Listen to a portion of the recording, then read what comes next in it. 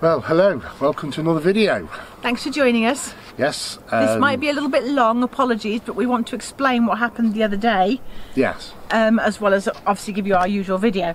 Well, that's it, yes. So, welcome to our new subscribers. And uh, obviously, welcome to everybody else who's uh, watching and subscribed and all the rest. Commenting and following us on the journey. Appreciate your time, guys. Yes. And uh, thank you very much for your sympathies on the last little mini video with the comments and everything else like that. We really do appreciate it. It gives us a bit of a boost, actually. Yes, yeah. So we wanted to explain what actually happened when we took took ourselves off to the notary the other day. Hmm. As far as we were concerned, we had a fixer, a gentleman who was helping us fix the land and the property, and he had the topography's been done. He had been to the notary himself the week before, and he was Yeah. there, and they drew up papers. Now, this guy is uh, is also an, a, a government official, works as a, an official, and is sponsored by the government, and he's allowed to um, specify all this paperwork to draw up. He's like the pre-notary's mate. Yes, So, not yeah. mate, but he, he does. This is what he does. He combines everything and gets it all set and does all the checks and makes sure everything is correct and then he passes it to the notary who then goes through it all and goes yes no that's correct that's not correct this is correct that's not correct Yeah. and um, so uh, he went to the notary himself didn't he So he had an appointment with the notary himself. He went there, he spent an hour with him, and the notary said, Oh, the way to fix this is you, we're going to do this sort of paperwork. And he went, Okay. So the notary drew up this paperwork. We were then called in a week later with our fixer and the notary, basically for this just to be read out loud to us and us sign it. yes The notary sat there, took one look at his own paperwork that he'd drawn up the week before, and went, Can't do this. No. And my fixer sat there just silent. And I'm like, what, what, do, you, what, what, what do you mean you can't do this? Um, and the fixer sat there really quiet. I thought, what on earth's going on? Basically, the notary just went, can't do this. This won't work. What we've got to do is we've got to go back to the way it used to be done, and we've got to fix the land, and then afterwards fix the buildings. I'll come to that. yes So. so What uh, they were trying to do was, in one fell swoop, fix the land, the borders, and apparently the buildings aren't on the escritura. So here, the way the land registry works is there's a there's a plan, and on the plan, all these buildings are here. In the writing, they have to be specified as well, and they're not in the writing. So they don't exist. So they're an illegal build. Allegedly. Alleged illegal build our annex which has got the outside kitchen outside bathroom outside laundry room. Isn't in the writing so it's illegal. And our house so where we've got the bedroom upstairs isn't. The cave down underneath it is and the corral is where we now have the kitchen. But the upstairs bedroom isn't Yes, it's very, very complicated. Yeah. Um, and it was mentioned that this is how it is, especially in rural communities, and especially when it's passed down through generations. Um, in fact, uh, going back to when we first purchased, one of the people whose names was on one of the utilities, I believe it was the water, yes had actually been dead 50 years.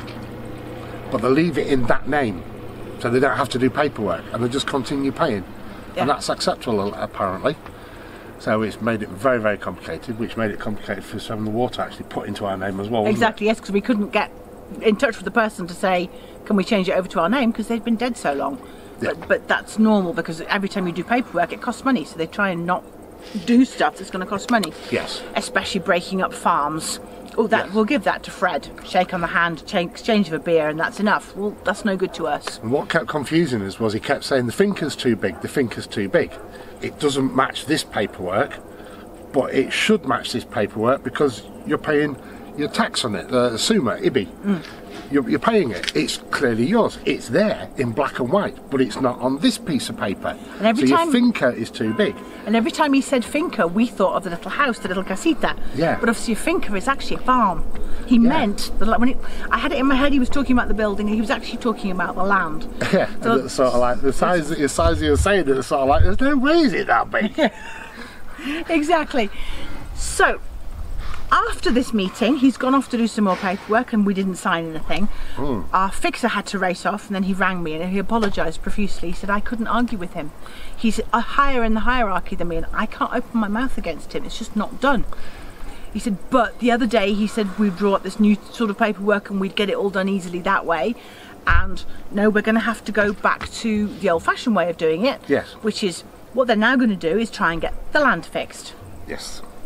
Once the land is fixed, we then do paperwork to get retrospective planning permission for buildings that have been here on the plans since 1900, permissions for them for the buildings. And we're just going to have to jump through the hoops and follow the due process as it goes and see what happens. Well, that's it. Yeah. He said he, alt- uh, he, the alternative, should I say, my mouth's not working properly, um, was that we just get the land fixed and ignore the buildings, Yes. um, which is No, no. it's got to be right, isn't it?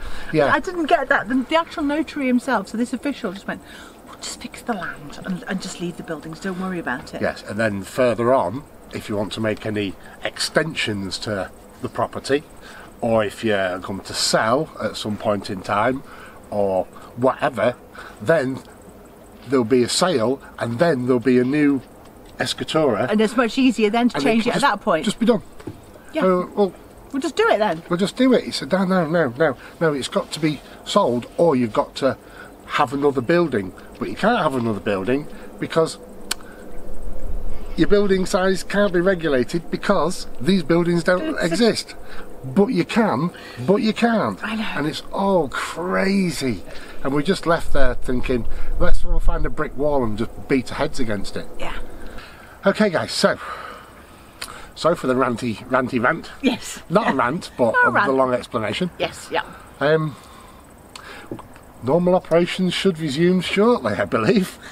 Hopefully. Yes. Enjoy the video.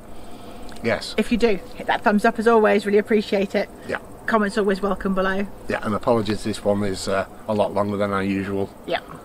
But hopefully you still enjoy it. Yep. Bye for now. Toodle bye. Why have we ended up with this? Explain what's going on. Well, we looked at that side and discovered that the lintels also half rotten. So we just chipped a bit of this way to see what was happening with the intention of hopefully leaving this lintel in place even though it's got this bit of thing here. And we've ended up with a sandpit. Well, it's all grown a bit. Pile of rubbish down there. Yes? And the height of the ceiling. Yes. Been doing some exploring. Didn't find any tigers or lions. Well, we did find that. Early moony. If I go to the other side. Oh, that's a door song. Okay, this dark bit you can see just here, that's canes. Bundles of canes running This way. this way. And we've Oh, just look. discovered there. A wooden post or something going that way. Show which way again? Going that way? Yes, sorry, the camera was too high up. Okay. So that's a piece of wood. Very, very rotten.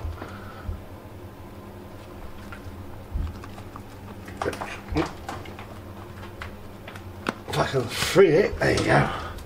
Like a sponge. Don't know. Don't know what, obviously don't know what sort of wood. It's just like a sponge. And it had woodworm.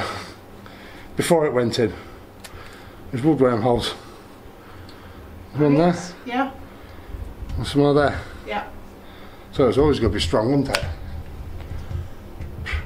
So they obviously had a problem here, and you can see by that bit of grey up over there, they've tried to pack it with stuff. And pack it and pack it and pack it. But they also have used clay roof tiles. They've just packed it with stuff. Yeah. So down here in the rubble, we've got bits of roof tile.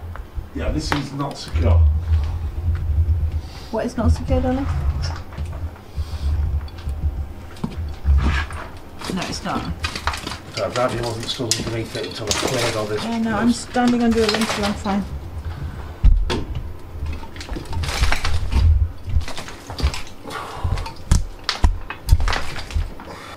Thing is, we've got to plaster this, and knowing what we know now, if we change the minds and put a flat ceiling again, we know there's a potential problem there. We can't risk it Push come.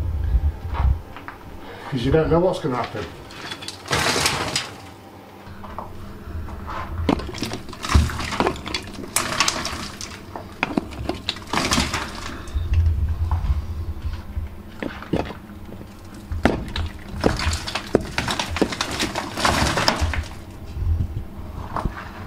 Going to get back to solid?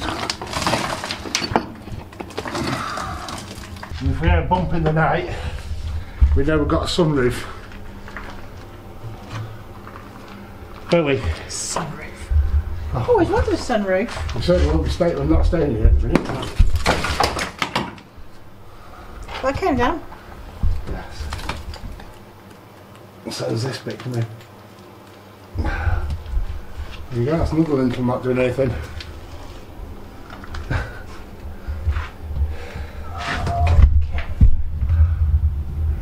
That's a big lump to take away, isn't it?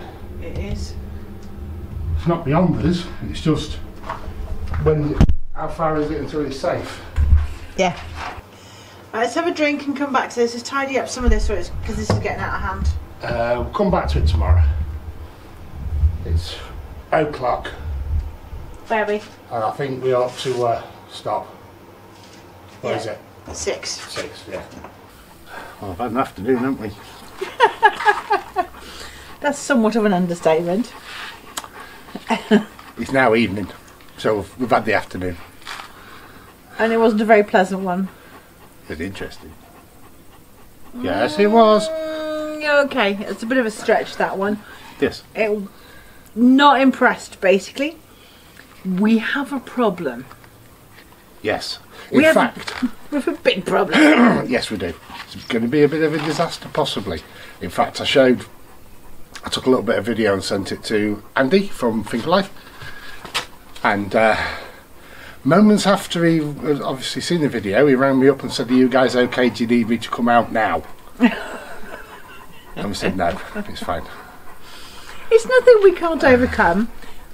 We got this. Yes, if it goes wrong, it'll overcome us a lot. Oh, it'll be fine. We just we just have a sunroof in the in the caves. I always wanted one, Yes. yeah, but it's uh, yeah. that's it. We just keep saying yeah because we're really bad at the at, at the, the language for this. Yes. Blue, blue, blue, blue, blue, blue, blue, blue, there you go. That's Blue. what wants to come out. It's like you want to say Blue, blue, blue, blue. blue, blue, blue, blue, followed by a bit more blue because it's shocking, a big problem, and it's going to take a, it's a huge undertaking suddenly. And we thought Cave Two, as we call it, was the lesser of the two evils. Yes, and we've subsequently discovered that it's that's not the case, and you've also seen on the videos because our our theoretical four weeks, so that's eight videos, nine videos, whatever, would have worked out at we could have achieved a lot. It's going to run longer, unfortunately. So, uh, Hope it's not boring, guys. Well, obviously we're taking you along on the journey. but we But- will try and find other things to interject as well because this is a big project. Yes, it's, it's suddenly gone from just take it off and replaster to Oops. structural, just all sorts. Yeah, Yeah, yeah. just uh, yeah. Okay, Yes. So, sun's going down. Tis. There you go. I've got a beer. My I've glass has gone warm now. I have to put, get another one out of the freezer. I've I've run out of vermouth. Have you? Cheers, guys. Oh, you totally run out. Yes, You vermouth fish. possibly. You're on that red wine now. Yes. Cheers, guys. We appreciate you coming along on the journey. Mm-hmm. Hope you enjoy it. Send us any comments. As you know, we really enjoy them. Any questions? Yes. Because I don't know how much of this.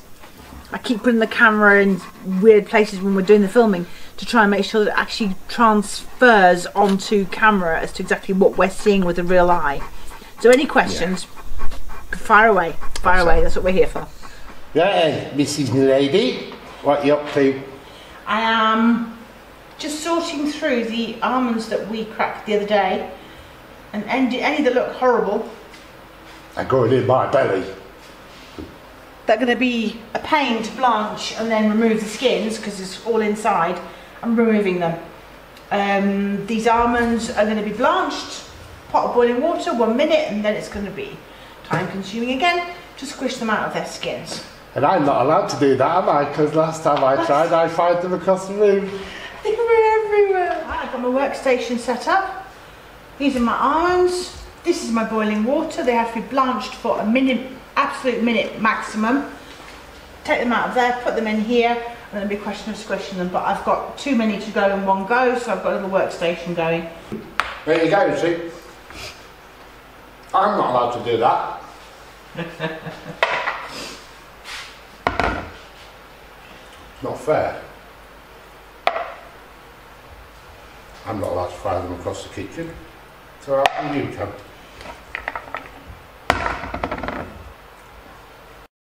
Well, that takes a wee while. They're sorted. We have blanched almonds. And look at all that wastage. Just All that skins. roughage. That roughage. Shame we haven't got a compost heap. Probably good for that, wouldn't it? Yeah, it would yeah. I'm back down alright. Yeah, one day. One day. So leave these to, to dry off a little bit. They've got to be nice and dry, and then we'll start making pans of marzi. Or apparently it's called almond paste, you just told me. So I was just looking up a recipe because I haven't done this for a couple of years, and apparently, if you take your almonds and grind them, not necessarily to flour, to very fine grains, and then add the icing sugar that you need to, it's called almond paste. To turn it into marzipan, you need almond flour, which is very, very fine, sugar and rose water. I haven't got that, so almond paste it is.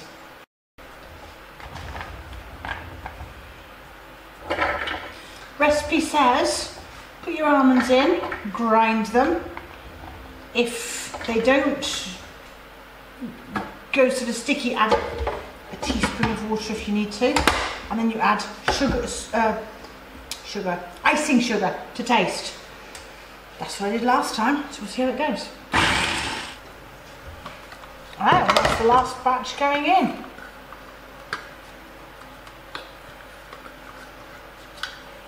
It's taken some time, hasn't it? Take what, sorry? It's taken some time. Yes, it has. Poor little machine's really hot. And I've got this. This is a grainy texture. Reminds me of breadcrumbs. Is it? But yeah, when you feel it under your hand. But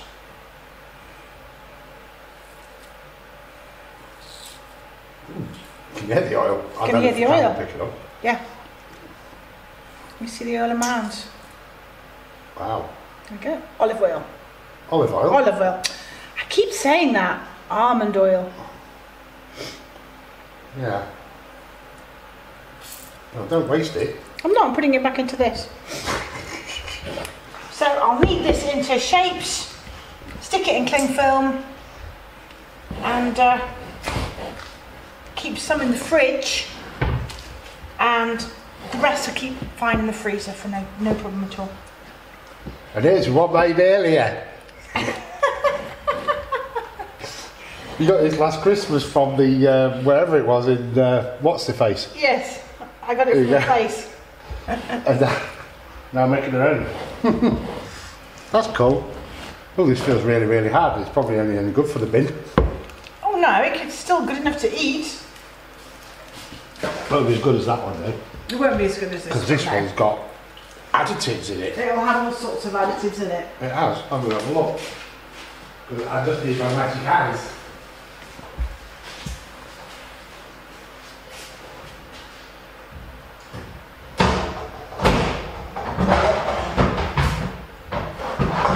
Definitely uh, a product. Is it lots and lots of ingredients?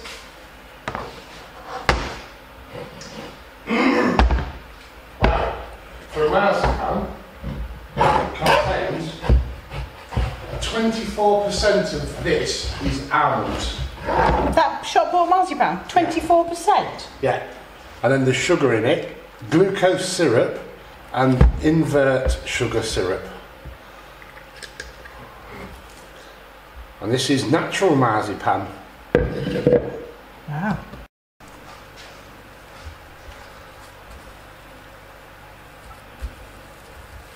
One marzipan roll. Okay, doing the final sausage. Be that's it all afternoon. It's, it's a very long process. Well, if you think about it, we also lost two hours of our lives the other night taking the husks off. Right, my turn. Chuck my almonds in there. They're going to be sweet roasted anyway, so it doesn't matter. A little bit of mixed down with a bit of sugar, salt, bit of rosemary, and olive oil. Never done this before, so I just watched a couple of recipes. So I'm going to try it. So it says just cover the in ol- olive oil. That's what it says.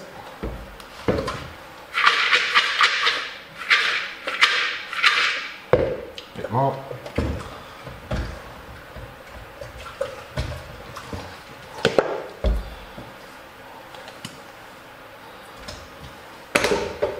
Bit of uh, rosemary.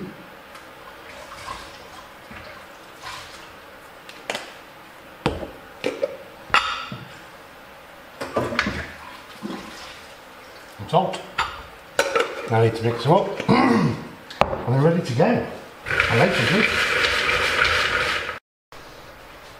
There they are. I uh, will go down and check the coals. And hopefully, these will be going in. Definitely up to temperature. I've got one or two almond shells.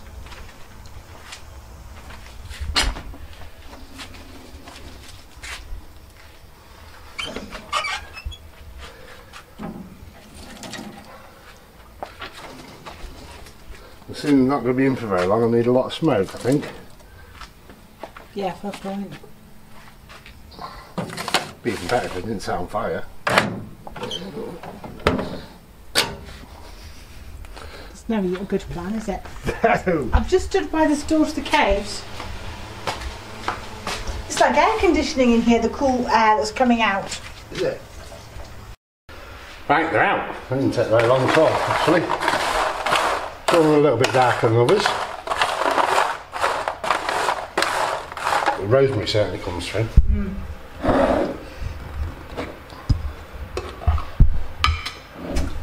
Ah, just mix this up now. Don't put a spoon in my honey. spoon. Okay, so this is honey.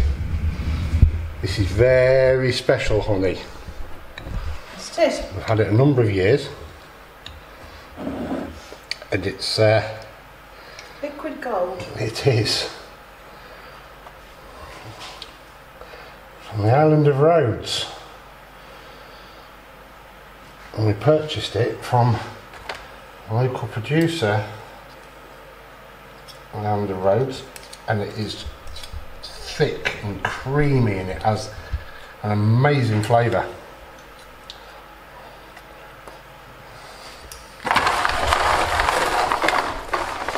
He's not letting any go to waste. No.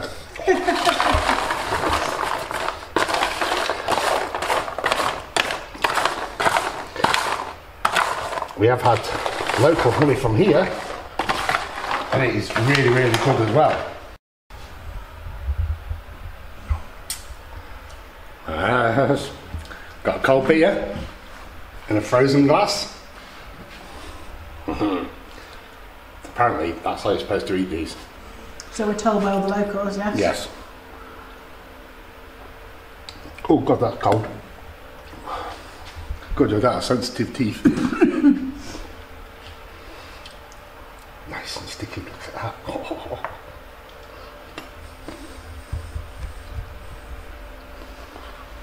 I'll have to try another one or two.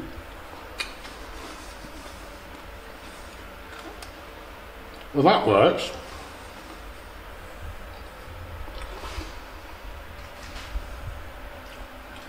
I don't know as I'd use oil again now. I Okay. think There's enough oil in the in the almonds Yes. It's not need oil added. to not need added oil. Okay. Definitely try that again, but without adding oil, Yeah. and see how it goes. But really, really nice. Cool. Yes. Mm. Yeah. So I'd say it's a a 60-40 pass. Okay, which the marzipan is also pretty much a it's a 90-10 pass. You're not sure of the texture, hmm. but it's I'm used to rich. it being more smooth. Yes. All in all, good job, well done. Yes.